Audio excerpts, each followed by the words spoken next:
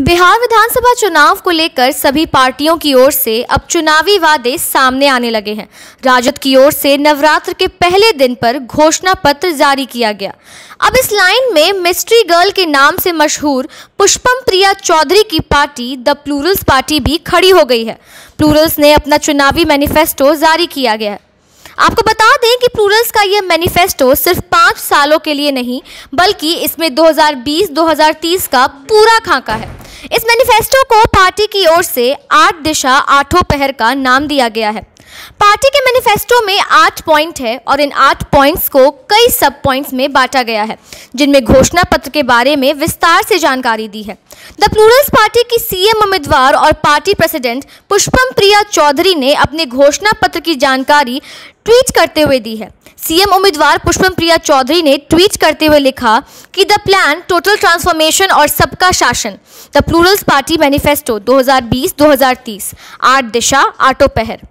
अब आपको प्लूरल्स के मैनिफेस्टो की मुख्य बातें बता देते हैं।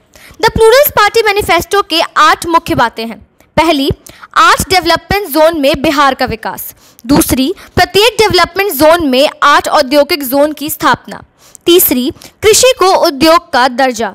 चौथी, हर जोन में एक लाख स्टार्ट अपह कृषि, उद्योग आईटी फाइनेंस से संबंधित। पांचवी, हर जोन में फ्लड एंड इरिगेशन सिस्टम छठी, प्रत्येक जोन में लर्निंग की आठ स्टेट ऑफ़ द आर्ट शिक्षा केंद्र। सातवीं, प्रत्येक वार्ड व पंचायत में आठ बुनियादी इंफ्रास्ट्रक्चर और आठवीं, गरीबी रेखा के नीचे के परिवार को जीवन की आठ बुनियादी सुविधा। आपको दें कि बिहार में नवगठित प्लूरल्स पार्टी की अध्यक्ष और मुख्यमंत्री पद की दावेदार पुष्पम प्रिया चौधरी ने बीते 17 अक्टूबर को बिहार चुनाव को लेकर राष्ट्रपति को पत्र लिखा था। पत्र में उन्होंने बिहार में निष्पक्ष और भय मुक्त वातावरण में चुनाव कराने के लिए प्रदेश में राष्ट्रपति शासन लगाने की मांग की थी। पत्र में उन्होंने अपनी पार्टी के उम्मीदवारों के साथ मिसबिहेव और मारपीट किए जाने का आरोप लगाया है।